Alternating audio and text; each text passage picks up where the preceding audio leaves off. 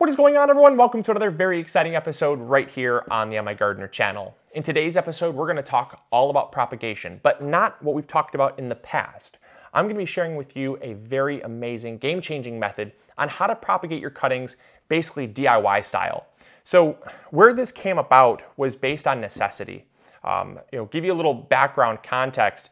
I do a lot of propagation. I do a ton of propagation if I've not yet already disclosed this because I love getting free plants. It's a great way to get exactly what you want to grow because if I start from a seed of this basil plant, um, number one, it takes some time. It takes two or three months to get the basil seed to a stage that's even equivalent to my cutting. So it saves time that way. It saves money because I'm starting with one plant and I'm just growing that one plant out numerous times. I don't need anything else. Another thing too is it uh, is it's a direct clone. So if I really liked the flavor of this plant, I really liked the disease resistance, the growth habits, and things like that. If I start from a seed, I cannot guarantee that that is going to be exactly what I want. Whereas a clone is, by definition, exactly the same. Genetically, it is exactly identical to the mother plant. And so if you really like this plant, you're going to guaranteed get exactly this plant just multiplied by 10, 20, 30, however many cuttings you take. I love propagation. I do a lot of it. And one of the downsides to propagation is that the kits that are available to us gardeners are either really inexpensive, super cheaply made, and you usually end up killing about half of your cuttings in the process. And then on the flip side, they assume you're growing marijuana, and which is a very high dollar crop. Let's just be honest there. So they assume that you're doing that, and so they sell these super insanely expensive, uh, overbuilt, highly technological devices that you know can tech, they can uh, they have like a little LCD screen that checks the humidity, it checks the parts per million of nutrients, it cycles the water through, it mists the top of the canopy to keep the leaves damp. It has grow lights built in. It has little louvers that move and open and close during uh, during hot you know hot temperature periods so that it can better uh, be climate controlled. It has a built-in heat pad. I mean it sounds like I've been doing a little bit too much research in, into this category, and that's because, well, I have been. I've been trying to find the best propagation system out there because I do a lot of it. I do a ton of propagation, and I would say I propagate on a yearly basis anywhere between 300 and 500 cuttings, which for a hobbyist gardener, those small setups are just not cutting the mustard. And the big setups, they're like 300 to $500 not into that. And so I just was like, look, I have to find something that's going to have a lot of those benefits that the expensive setups have with the cost savings uh, that the inexpensive uh, setups have. And that's where I stumbled across this DIY system that, you know, it's, I think it's a pretty good, uh, I think it's a pretty good alternative. And so, so pretty good that I would consider it the best out there for my needs. And that's why it's a game changer for me. So I'm gonna share with you uh, kind of this setup. I'm gonna show you how it works. And I'm really gonna walk you through just why I love it so much because it does really kind of take both the benefits of both and put them together. The first thing you're going to need first and foremost is a growing medium. A lot of people ask if you have to go with rock wool and the answer is no. You do not have to go with rock wool under any circumstances. If you don't like rock wool, you don't, uh, you know, you don't like the um, some of the negative stuff that comes with rock wool, don't use it. You don't have to. I don't mind using rock wool, and I prefer it because I'm growing hydroponically. So for that, I go with rock wool. But you can use things like sterilized sand, perlite, and vermiculite. Three great options. You want to go with something that is sterile. First and foremost, it has to be sterile because anytime you incorporate bacteria into a propagation setup, just like you're able to, uh, you know, the, the environment is so climate controlled, so ideal that it's also ideal for growing bacteria and fungi. So you want it to be as sterile as possible. That's why I like to go with rock wool. But if you're going with something like sand, like let's say you're gonna move the, the plants out to the garden, right? You don't necessarily wanna put, well, you don't really wanna put them in rock wool because they won't transplant well because the rock wool, the rock wool, it just hold on to too much moisture out in the garden and you'll end up ending up with, with rot and stuff. So it's not ideal for moving out in the garden. And so in that case, if I was moving them out in the garden, um, what I would do is I would use sand, perlite, or vermiculite. And sand is by far the most readily accessible and the most inexpensive out there. All you have to do is just go to your hardware store, get a 50 pound bag of sand, take a few gallons of it, run it under some water until the water runs clear. You gotta get all that nasty sediment out because you do not want that in your system. Once you wash all that sediment out and the water runs crystal clear, then what you wanna do is drain all that extra water out, put it into one of those cheap, chintzy little uh, um, pie pans or like a casserole pan, those aluminum casserole pans. Throw it in your oven at 350 to 400 degrees for about 15 to 20 minutes. And what that's going to do is going to bake off all that water, but it's also going to sterilize the medium. Any bacteria, any fungi, any weed seeds, anything like that, it's all going to be killed off. That's very important. Um, if you're going with perlite and vermiculite, those are by nature pretty sterile mixes. You don't have to do anything else with them. You can use those as well. So uh, all of those options are wonderful growing mediums and they're all going to get the job done. The next thing you're going to need is you're going to need a tray. Now this tray here is a 50 cell tray um, and all you have to do is make sure you get one that has holes in the bottom.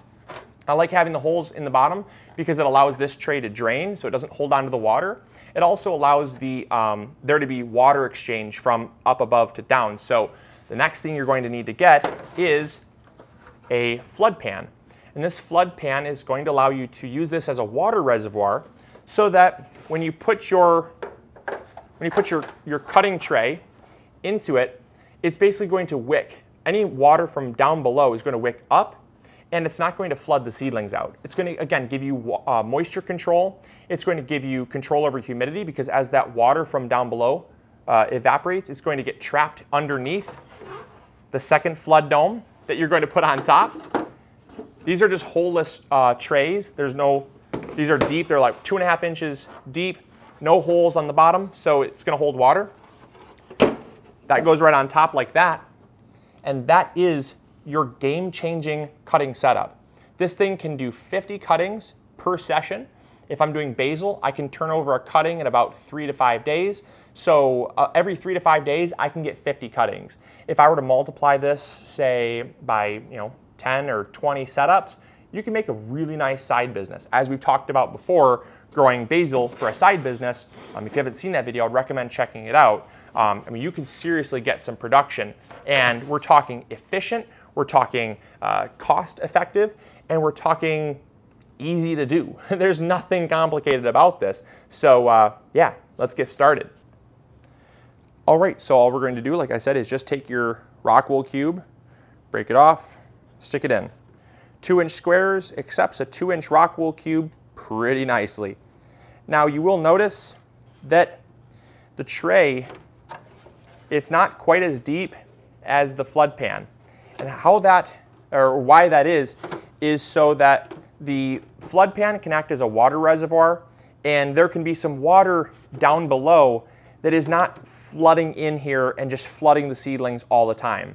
As the water level drops, the roots are going to be encouraged to go down and that's what's going to encourage root development to go down through the holes in these, in these trays. It's going to encourage them to go through the holes and down into the water reservoir and that's going to get you good root development. That's very, very important for creating a healthy seedling.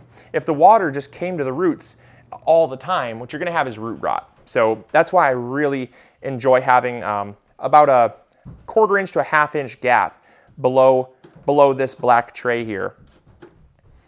All right, and so we're just gonna fill these up.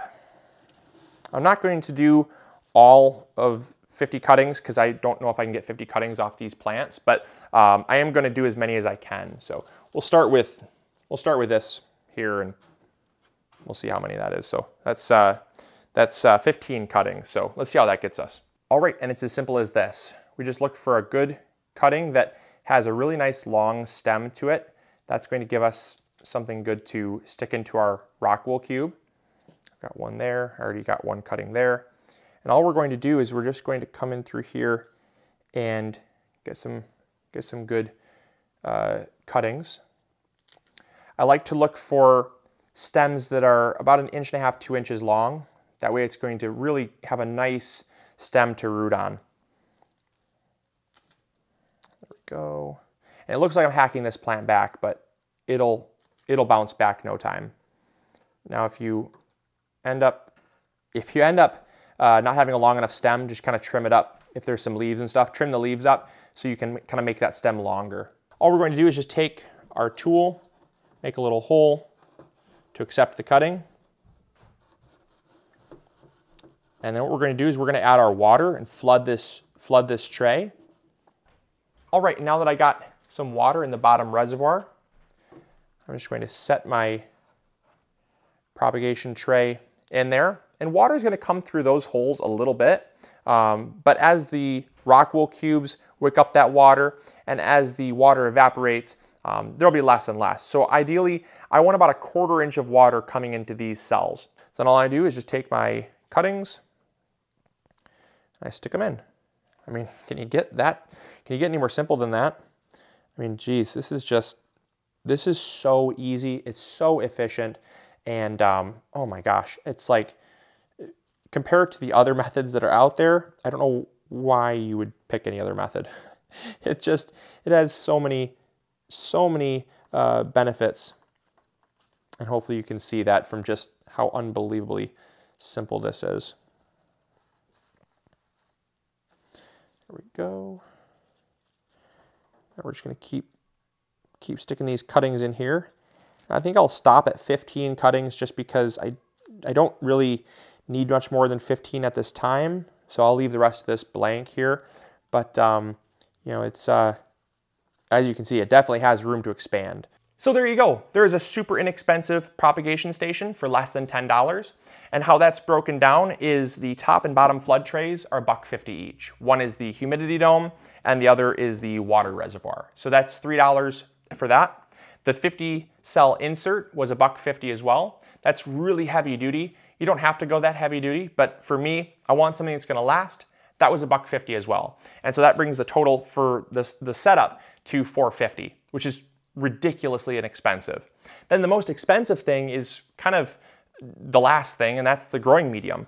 You don't have to have this system be any more than $5 if you go with an inexpensive growing medium like sand. I mean, heck, you can get sand for free at a local beach, but you don't necessarily uh, you don't necessarily have to spend less than 10, you don't necessarily have to spend $10. Um, this just cost me $10 because I went with rock wool, which is fairly expensive. This, uh, this big bundle here was $8 for this whole bundle. So that's why this puts me at right around $10. So hopefully this is like a complete game changer for you as well. I know when I came across this, you know, even with the cost of the rock wool, I thought, holy smokes, even with the cost of the rock wool, it's cheaper than some of the cheapest, crappiest setups out there, and yet it provides so many of the benefits that the really expensive setups have why wouldn't I like this method? So uh, yeah, ever since using this method, I've been sold. So I hope you guys enjoyed. I hope you learned something new.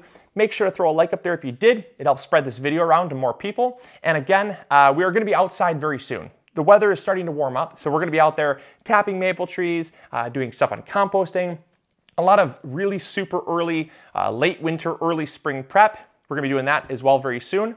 And we're gonna be doing lots more in the grow room. So make sure you have not, uh, if you have not yet subscribed, make sure to do that. And as always, we'll catch you all in the next episode. Grow big or go home. Bye.